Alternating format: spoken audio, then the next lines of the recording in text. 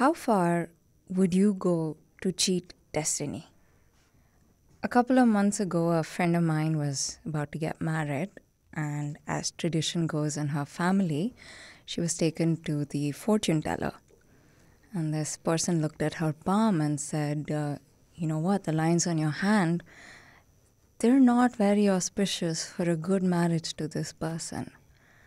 Now, modern day brides are different. Modern day brides take things into their own hands. So even though all her friends suggested crying, running away, giving an ultimatum, taking out the latest feminist text and showing it to her family, she decided to do something else. She took a flight and went to South Korea. And when she came back, she presented a new hand to a different fortune teller. And this new hand had altered palm lines. Suddenly, the wedding was going to be a success. Suddenly, she was free to marry the man she wanted. This is Sonali Acharjee, and you are listening to Health Wealth, a podcast that wants to help you better understand as well as increase your interest in looking after all aspects of your well being. India is today amongst the top 20 countries in the world for plastic surgeries per capita. This is data which is compiled by the International Society of Aesthetic Plastic Surgery. Amongst certain society circles today, in fact, things like nose job and Botox are as normal to talk about as gluten yoga and Elon Musk. And because both disposable income as well as that pressure to look good is increasing, so is the frequency, the medical techniques, and the types of cosmetic or plastic surgery that are being practiced today. So, I met a surgeon recently who had a very unusual request from a client, and I felt like sharing it. He had a client come in who said, Can you change how much my eyebrows lift? I don't want my eyebrows to go up too much. And he asked the client, why, what, what, what's bothering you about your eyebrows? And he said, because when I go to London to play poker in a casino, um, people have started telling me that my tell, or rather the, the fact that I'm lying, is the fact that my eyebrows go up a bit. So if you can stop it, I'll make more money at the casino. There is another surgeon who told me a story of a very successful corporate woman who came in and said, Look, I spend hours wearing high heels and they are hurting my feet. So, can you put something into my heels to add cushion so that my heels won't hurt me so much? And that was actually done. And this woman can now go almost 10 to 12 hours in high heels without feeling pain. Plastic surgery is no longer just for beautification, it seems to be entering the domain for functionalism it seems to be affordable. It seems to be something we can all do if it helps improve our lives and the quality of our lives. But how far can you take it all? How much surgery is too much surgery? Is that for a patient to decide or for a doctor to tell you? Last year, in 2023, there were about three to four different deaths of South American social media influencers that resulted due to complications in cosmetic surgery. The year before that, in 2022, um, there was a Kannada actor, Chethana Raj, who also passed away in Bangalore after complications came up post a cosmetic surgery. So while there is serious demand, there is also unawareness. And as we go forward and as these technologies become more affordable, more advanced, it's really important to learn a lot more about them. So I have with me today Dr. Amit Gupta, who is the founder of Divine Aesthetics and a plastic surgeon himself. And he has agreed to spill the beans on how the demands of 2024 is reshaping the art and ethics of cosmetic surgery. Hello. Thank you so much for having me over. Thank you for coming. Thank you so much.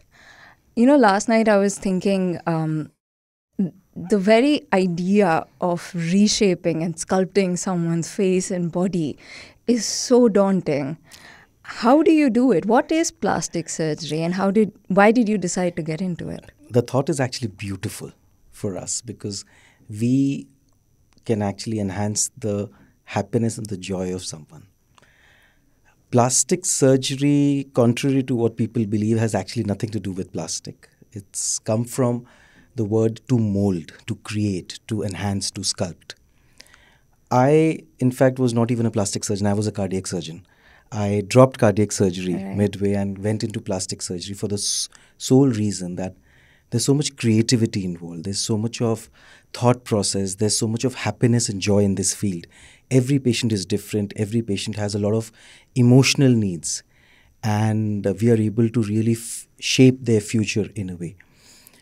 Uh, to add to the point in terms of the demand, uh, in India particularly, I'm 100% sure in the within the next decade, India could be amongst the top five in terms of volumes of plastic surgery in the world, and uh, that is one of the biggest reasons for that is the enhanced skill that uh, Indian plastic surgeons are bringing on now.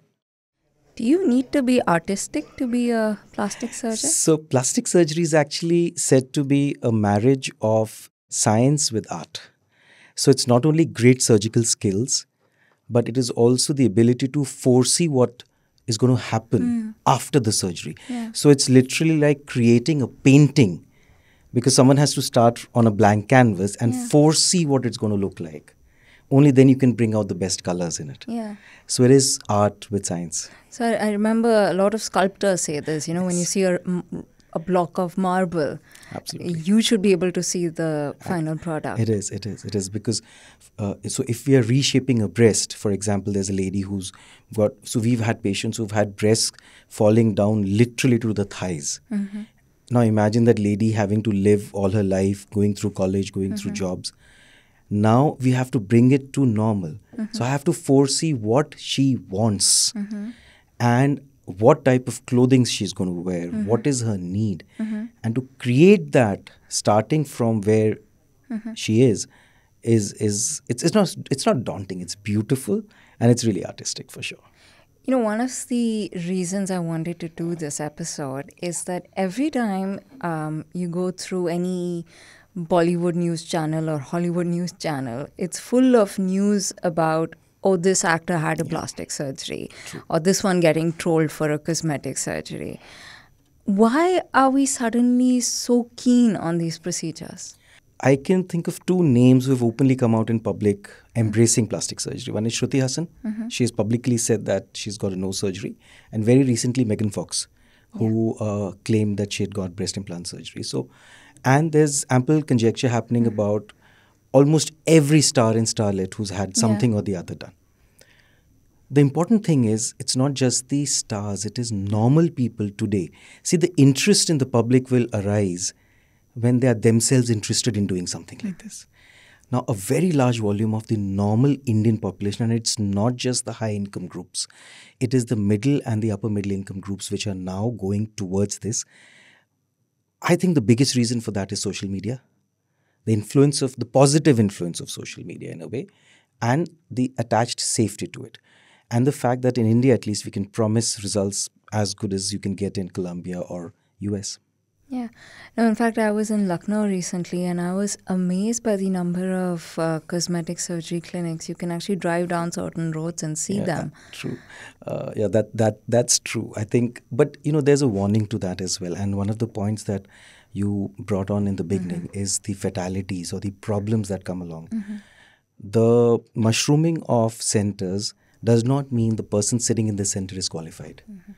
So it makes so yes, there are problems. We've had uh, deaths in hair transplant. We've had deaths in other situations, but when we get down to the root of it, it turns out that the person performing the procedure was not even qualified to do the procedure. What is the qualification? Qualification, the person has to be a plastic surgeon, a plastic surgeon. So it took me 12 years of studies to become a plastic surgeon. After that, it took me another two years to excel in the aesthetic field of plastic surgery, mm-hmm. which is my forte today. Mm-hmm. So 14 years is an average time required to learn the basics. Mm-hmm. I've been in the field for 18 years, and even today, we say we are still learning mm-hmm. every day. A large, a very huge problem in India is almost every Tom, Dick, and Harry wants to do aesthetic surgery. So today we've got clinics. I mean, you're in Lucknow. Just take a walk down GK1. Just go ahead of M Block Market. Yeah. 19 to 20 clinics. Now, if a check is done, so many of them are not even registered. So, for example, a liposuction should be done by a plastic surgeon. There are few skin specialists in India who are doing it. There are general surgeons who are doing it. Mm-hmm. In fact, the name that you mentioned, the lady who expired, was operated by a general surgeon. So that is a major problem, and it becomes the responsibility of the patient to check the credentials. Yeah. Or you could person. check the age. If it takes 18 years, they should be around 40. Oh, well, so we've got we've got some people who are 60 who've been uh, Okay.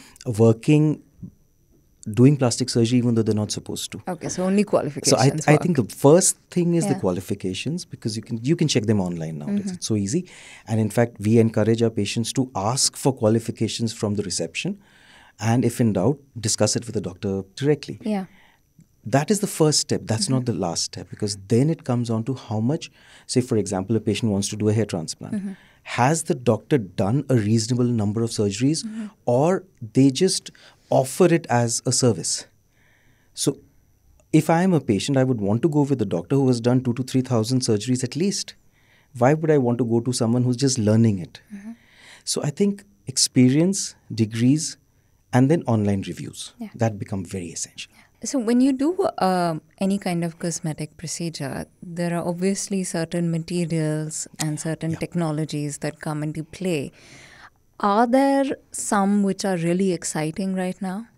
Uh, you're talking of something new? Yeah, something new, so something. Mm-hmm. there, there is there is so for example in hair fall treatments there's there's something very uh, there's something exciting happening in terms of treatments to reduce so we cannot eliminate hair fall so there are stuff happening which might potentially reduce hair fall to an extent that hair transplant may not be needed in the future that's something interesting so it's Yeah. extremely experimental Yeah. they've been talking of cloning for years it's not worked too well but uh, there have been a lot of uh, studies on stem cells and they have been really promising but it could take a decade even right, more right. then there's something really exciting happening in the field of breast implant surgery. Mm-hmm. So silicone implants have been controversial, but unfortunately more negativity attached to them than real. They have been they're extremely safe. The fifth generation we are using gives lifetime warranties. In fact, there's a company which is trying to work on an implant which is absorbable. So an implant goes into the body, the body creates a reaction around the implant, creates more breast tissue, and in a few months the implant just disappears from the body. So that is really exciting. Yeah, That, that's something yeah. we're really looking forward to. And forever there are there's huge work being done on anti-aging. One of the most one of the recent things which has come up is are uh, there are threads Mm-hmm. which help in anti-aging the face. And previously they would last for about five months. Nowadays they're lasting for more than two years. So, you know, today we can literally promise a patient that you're going to look five years younger and you're going to look five years younger for the next 10 years. So, freezing the age Yeah. uh, in, a, in a way. Yeah. And it's 2024. Um, again, we have been talking so much about nose jobs and Botox and breast jobs, and these are getting quite common. Yes, it I mean, I never thought I would say this, It is. but boob jobs are very commonplace today. I know of three, four people myself who've got it done. Absolutely. And there's no judgment, there's uh, no real worry about costs either. Not really. Are there some treatments like this palm chain altering your palm lines was very new to me? Are there some such unusual procedures that you've had So, to do? this, uh, so, so these are things which are not done by 99% of plastic Mm-hmm. surgeons. So these would be done by one odd exceptional person. Mm-hmm. Now, therein lies the problem of safety. For example, there are clinics which are coloring the eye Mm-hmm. permanently. It's not plastic surgery, uh, falls within uh, uh, other domains, Mm-hmm. has led to blindness in so many people. So, I would recommend that anybody wanting to do something so risky should really balance the you know the benefit of the treatment versus the risks involved. Right.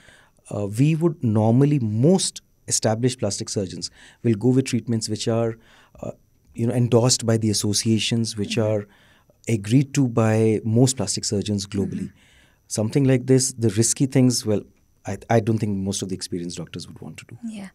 So, supposing I come to you with a reference of someone's lips, like Khloe Kardashian, for example, if I give you the exact kind of lips I want, is the science today precise enough to fulfill that?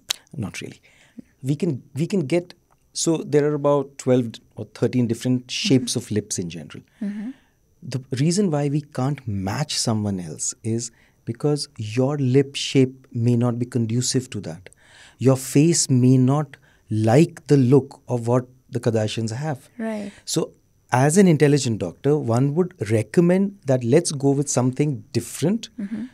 But if the patient insists, then mm-hmm. we would bring them close to what is shown to us. But to say that can we do a cut copy paste? Impossible. It's So you can't clone Impossible. faces. Impossible. It's not possible. So, how do you then uh, sort of walk your clients through the possibilities of plastic surgery? Because I would imagine a lot of people coming with referrals, um, possibly celebrity referrals. So uh, that's that's that's one of the most beautiful questions, and I really wait for a question like this because this is where we are able to bring out the fact that plastic surgery deals with emotions, a lot of emotions. So when someone comes to us, the first thing we want to assess is is the need justifiable? Mm-hmm. Is the person well within their own control? Mm-hmm. Do they know what they want? Mm-hmm. We've had people who have expected something which is not even thinkable. So, you know, then red flags start coming up, and we ask the person to leave immediately. There are people who have been uh, disturbed psychologically and want, think that this surgery is going to correct things for them. So, we've got to identify such people and we ask them to leave. They, they're not candidates. Mm-hmm. Then, second is if the expectation and deliverability mm-hmm. match what the patient expects and what I can deliver. So I so if there's a mismatch, then we really need to plan whether we want to do the procedure or not. Mm-hmm. Why? Because that person will never be happy in the rest of his life. It's always going to be a problem for us. So first these red flags are taken care of and then we walk them through I personally walk them through the complications 1st Because even though we know today plastic surgery is absolutely safe, maybe only one in 1,000 persons will even have a slight complication today. But that does exist. So every patient needs to know the problems, and if they're comfortable with the problems, then we get on to the rest of it. Yeah. So we pass that hurdle first, and then we take them through different other patients who've got, got similar problems, what solutions they've got. And one of the things that I love doing is that uh, I show them the emotions of a patient who's already had it done. So, today, one very important thing you just said was people are not judging other people mm-hmm. today. So, we've had young people who have had breast implants done, who have got breast reductions done, and mm-hmm. coming out on camera and telling their experience. Five years back, this was not thinkable. Yeah. when a person say a young girl 21 year old wants to do a boob job mm-hmm. she hears the experience of another 21 year old girl who had the same problems same fights in her mind it gives her so much more confidence Right. so we take them through this journey of other people then take them through today we have softwares available where we can kind of try to show what they're going to look like after surgery as well. So we take them through that. And then uh, today, there's another important thing which is happening is there are startup companies giving 0% uh, financing for surgeries as well. So that helps a lot of people do surgeries. So then that part is taken care of. And then we focus a lot on follow-up treatments, follow-ups. So there's a f- uh, strict protocol that is created. This whole journey can take at two hours for a patient and then the patient can even take up to three to six months to decide. Right. That's something very interesting there. And only then does the patient uh, uh, Yeah. come for surgery. So you mentioned um, a 21 year old. Now, typically, I mean, it's not new for young people to get plastic surgeries. It's just that it's happening a lot more. true. Um, typically, plastic surgeries was something that was seen as anti-aging. Botox was huge, or if you had some significant imperfection in your body. Um, but today, you know, I, I myself just did some research on plastic surgery patients, and I came across 18 year olds, 19 year olds um, who, even if they haven't done the surgery, they're posting the desire to do it. True. And if I see their face, I don't see anything wrong with it. So why is it suddenly we're so self critical? Uh, we, are, we are more self-aware. So I will. So most doctors will never inject a person with Botox or fillers. I mean, I would never do that before 25 to 30 years mm-hmm. of age. That's kind of a limit that I've drawn for myself. But there are some conditions which need treatment, and one of the conditions is uh, male breast enlargement called gynecomastia.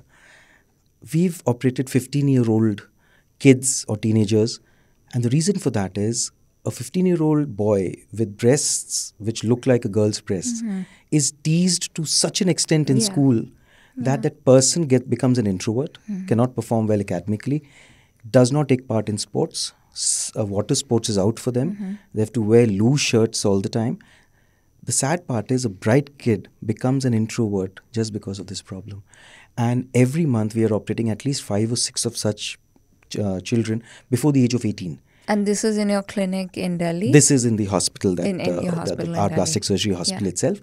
And the interesting thing is, it is the parents who are bringing their kids because they're seeing a personality change. Mm-hmm. And more and more parents are today understanding that surgery is being safer. Mm-hmm. They are earlier, 10 years back, no parent would come. In fact, male breast enlargement we would do not less than 25 years, some 25, mm-hmm. 27 today 15 16 17 is also happening mm-hmm. 21 22 is happening mm-hmm. breast implants the youngest girl we've done is 21 years old okay earlier it was about 28 29 years old mm-hmm. and the reason for that is self awareness the need to look better mm-hmm. the need to fit better in society yeah how you know we we might be critical of this but then look at the girl She's not able to wear the clothes of her choice. She's not able to go with the friends of her choice. Mm-hmm. She's not fitting well within the society. Yeah. She's not doing well academically or professionally. Mm-hmm. We are losing that child out. We are, we are killing the potential of that child. Mm-hmm. A small procedure done. So, breast implant takes about 20 minutes to do. Mm-hmm. And suddenly the world changes for that girl. Right. We've had, we've had women who have saved marriages because of these surgeries. We've had guys getting married because of procedures. We've got people getting promotions not because the boss gets them mm-hmm. promoted, it's because the person creates something around them. Yeah. That confidence. makes them the confidence. Mm. Makes a huge difference. It is, it, it is. Tell me, um, you, you mentioned that these surgeries are slightly safer today. Yes. How are they safer? What What is it that makes them safer? Uh, so we'll start from the plastic surgeon mm-hmm. itself, the skill mm-hmm. of the plastic surgeons. Right. Indian plastic surgeons are today some of the best in the world. Mm-hmm. Second is anesthesia. Mm-hmm. Uh, today, if you do a surgery of say a one hour duration, the patient is up in about three to four minutes. Three to four hours later, they are walking in the room, and f- most patients are back home. Mm-hmm. Uh, so I've had a breast implant patient going to movie after five hours. So that was unheard of previously. Yeah yeah. The technology, the machines that we are using are just so amazing today. All the medicines, the drugs are now so much safer. The side effect profile has come down a lot. And we are now moving towards the concept of daycare surgeries, where we want the patient to be up and about the soonest. Yeah. So we reduce the hospital admission time. So what the patient gets is that I'm going to be, I'm going, I, mm-hmm. I'm coming back in just a few hours. So that creates a lot of uh, improvement for them. So, safety is basically experience with technology.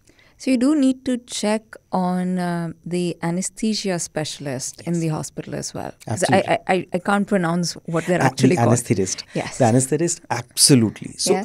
uh, I would say the patient need not check because the surgeon, mm-hmm. if the patient trusts the surgeon, because the surgeon will only go with someone who's experienced. Okay.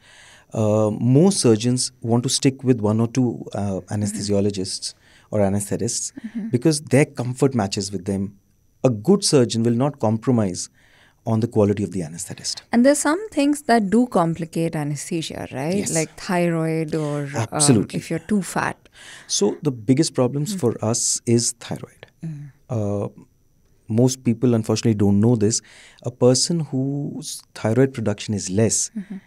can have a very severe problem post anesthesia. Uh, delayed reversal of anesthesia, patients going into ICUs. And why? Just because a thyroid profile was not done. So that is, for us at least, it's mandatory. That is yeah. a big problem. Mm-hmm. Then bleeding profiles. We've had people who've had bleeding disorders, mm-hmm. and the patients have can't hidden clot. it. Yeah. They can't clot. Yeah, so yeah. It's, it's a huge problem for us. Blood pressure. So uncontrolled blood pressure, mm-hmm. uncontrolled diabetics, they cause problems. And maybe not from the anesthetist point of view, but at least for us from the surgeon's point of view, anybody who's had a cardiac intervention, say something like a stent, is an absolute no for plastic surgery. Oh, really? Absolutely. Why is that? Uh, they have to stop blood thinners. oh, They are lifelong on blood thinners. Yeah, So the yeah. moment they stop blood thinners, the stents can get blocked. So they, if at why all, do you have to stop blood thinners? uh, if you do a surgery, the uh, where It'll as, just keep on as soon as we make the cut, the blood It'll won't flow. stop. Right, right. So there, is, see, plastic surgery is never an emergency. yeah. I mean, doing a hair transplant is never an emergency. So we consciously, in fact, our medical forms have a strict contraindication Mm-hmm. that please do not, if you have a stent in place, do not call us. Mm-hmm. We will not be operating you.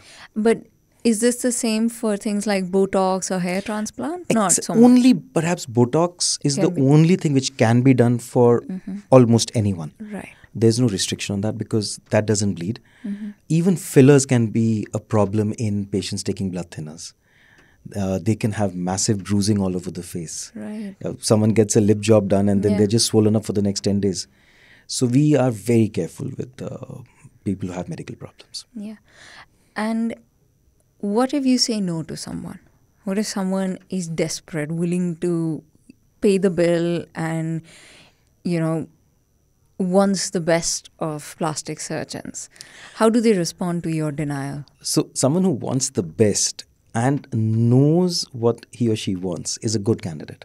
Someone who's desperate is a bad candidate. Okay. So And uh, if the two are combined? ah, that's a that's a That's a flag. difficult one. Uh, that's difficult. I think it depends on the capacity of the surgeon, how much he's got, how much of tolerance the surgeon has. Because a person who's mildly desperate Hmm. and wants the surgery has the means will be a bad post-operative patient. So the pers- the surgeon has to have a lot of bandwidth Mm-hmm. to ex- to take on the patient in the post-operative because these patients do create problems. Uh, in fact, there is an acronym called SIMON, Simon.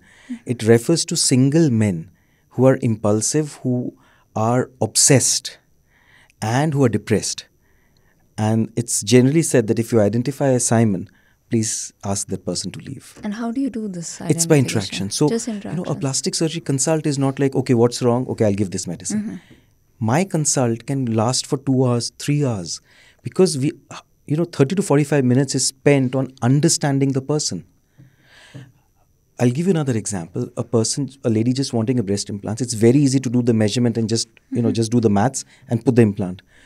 My questioning goes into what is your profession? Mm-hmm. A person who says I'm a dancer, aerobics instructor, a model, needs bigger implants. A person who says I'm in I'm a housewife in a nuclear in a joint family mm-hmm. needs smaller implants. The mother-in-law does not want to know. Mm-hmm. So we get into the depth of what, why, how, mm-hmm. make the person come out with all the information that they can. And at any point there's a red flag, we say no. Mm-hmm. But by going deep into their thing, mm-hmm. w- two things happen. One, the mm-hmm. patient gets very confident that the doctor is a friend. So we create a beautiful relationship at that time. And the doctor gets the confidence that he's dealing with a safe patient. Yeah. In today's medical legal age, mm. it gets it can get really nasty at times. Does that ever happen? Like you've done a procedure and they aren't happy with it, and That's not a that's not uncommon. Okay. We've had uh, see what happens is plastic surgery is so much about emotions, and people are not great at expressing emotions. Many times we don't even know what they want. They're telling us something, but inside they want something else. So they hide. Many times we've had problems that we've done something and they said, "No, we never wanted this." But the fact is that everything is on paper, signed. Yeah. So we are safe. But the, Yeah. you know, we feel sad mm-hmm. that we've done all the effort and still the person is not happy. Yeah. So we do at least most. I, I, I think globally most good plastic surgeons will, you know, go more than they should to mm. make sure that the person is happy as long as that is achievable. yeah, do they sometimes think you're like God? Nine nine out of ten times. Really? Nine out of ten. Uh, I'll tell you something. This That's a lot of power to give you. Yeah, but you know, we know we know we are not. I'll tell you this. This is this is pretty emotional in a way. There was this Yeah. young girl who. So there's a surgery called hymen repair. Mm-hmm. Not a surgery that I like. It's basically a virginity Yes. restoration surgery. Yeah. This young girl, we done this surgery, and then she says, "Doc, can I hug you?" And I said, "Sure." I mean, it was a very unusual request. Hmm. And she started crying. I said, What happened? Just sit down, gave her a glass of water. I said, What's wrong? And she said, Today, years of guilt has been washed away. And I said, There's no guilt. I mean, it's normal. And she said, No, I was exploited when I was six by my dad's brother. And I've been carrying that weight on me. The shame. And today, it's over. Hmm. So now I can move on with my life. Yeah. Imagine 15, 17 years of getting stuck hmm. And now able to move ahead. Yeah, actually, when we hear of uh, hymen reconstruction, uh, very often we're very judgmental of it. Sadly. That, you know, we're promoting um, Uh, patriarchy true, or true. purity amongst women and The, the oppression. sad part it is the guys who are responsible for this. So I, uh, on my live shows when I when I get live on my digital media, I get a lot of hate comments when I talk of hymen repairs. The guys say that you're cheating the, The potential husband, Yes. and I say you are the ones who are asking for it. How many guys have not had had previous relationships, and you want a girl Who's a virgin? who's a virgin? Yeah. I mean, it's you are creating stupidity in this the society, demand for it, yeah.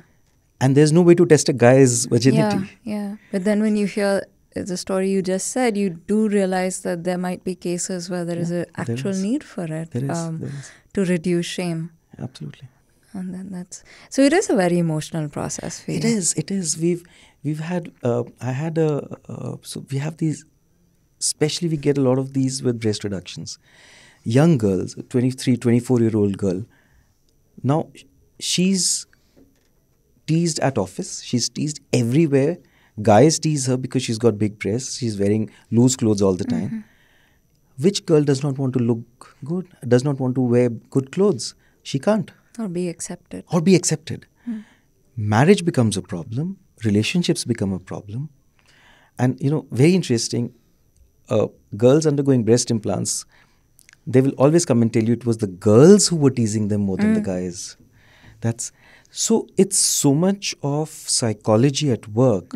This surgery is a reconstructive surgery in a way. We are restoring that person's life. And there is also, um, you know, when very often when you're surrounded by a lot of noise, a lot of persecution, you tend to lose that connection with yourself. Um, You give up. you give up. You give up because you don't know who to talk to.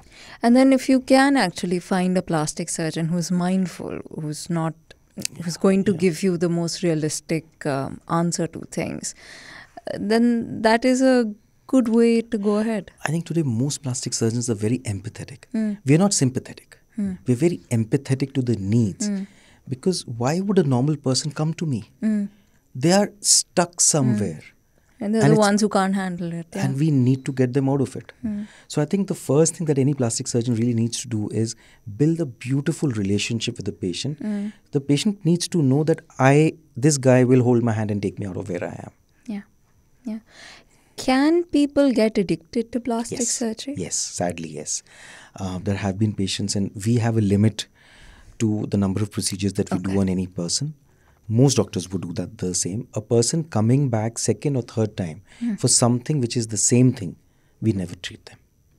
Why? Addiction doesn't stop, and with addiction, things get Mm-hmm. worse. We've heard of actresses getting multiple nose jobs and then just Mm. ruining their career. Mm-hmm. The more you operate on a person, the more the chances of complications, anesthesia complications, recovery issues. And we've seen a person who gets operated two or three times, the relationship between the doctor and the patient actually starts breaking because the patient starts expecting too much. Mm-hmm. It's not possible. So we warn every patient who comes to us f- about addiction. Mm-hmm. Tell them we are not going to see you again for the same thing. Mm-hmm. If you come back for other procedures, unless they are justified, you will not be operated. Oh, even that can happen, right? Like So, first uh, lip job, then nose something job. else, something Yeah, else. Yeah. So as long as we feel that this is okay, Hmm. this is justified, fine. Otherwise, we don't. Say, for example, a, a, a guy coming for a male breast reduction and he looks normal. Hmm. I mean, I would never operate that guy. yeah, because sometimes we can also imagine flaws where there are There none. aren't. There aren't. A girl with beautiful lips wants a lip job. I mean, I can't make it better than it is. Do you say that? I tell them. I tell them that see, there's a limit to what I can do. Yeah. I've told women, I've told some women, I've told some guys Yeah. as well. You are already so beautiful. if I touch you, I'm going to reduce the percentage of beauty on your face. That's a So please don't do it. And please don't go to someone else. yeah. You don't want to be ruined. And and what do they say when you say that? Do they buy Uh, most it? of them are not very happy about it. I mean, they're happy that they're getting That a they're compliment. complimented, yeah. But the fact is, uh, they. I, I really don't know. To be honest, I'm not. I, I've been on the patient side as well. I've done Botox on my face. Mm. Okay. So I've been on that side as well. But if someone says, Yeah. it's like I say no to a patient, but I justify it to them. Okay. So I think they really understand that. And as a patient, were you happy? Oh, awesome! So, uh, to an extent that you know, I was procrastinating it for Yes. at least about four, five years. So, I had a friend who came, who, who's a skin specialist, who was in my hospital, and I was talking to her, and she said, "Okay, just sit." And two minutes later, she just shot Botox on my jaws. I wanted to thin my face, Lovely. and she said, "You're never going to get it unless I do it this way." And I said, "Okay, well, do it." And my pictures just changed, Yeah. Three- uh, and six months. The Botox lasts for six months. Okay. So six months later, my daughter, that time she was in, she's 16 now, she would Hmm. be about 11 or 12. She said, Pops, time for Botox. Your face has become more fat again. Oh, lovely. So, for somebody who might not understand what is Botox, you've been throwing that word out of bed. Could you maybe just briefly outline it? so, Botox is an injection. The Hmm. prime purpose of that injection is to weaken the muscles. Hmm. Now, the sequelae of that is that anything which is consequent to that muscle activity gets reduced. So, for example, wrinkles on my forehead occur because of muscle contractions here. So, if I weaken the muscle contraction here, my wrinkles will disappear. Mm-hmm. Wrinkles around the corner of the eyes are mm-hmm. because of movement of this muscle mm-hmm. as we talk, as we smile. Restriction of these movements will eradicate these. And the aging is basically on the face because of wrinkles. Yeah. So the person starts to appear younger. Mm-hmm. Other important uses of Botox are for migraine.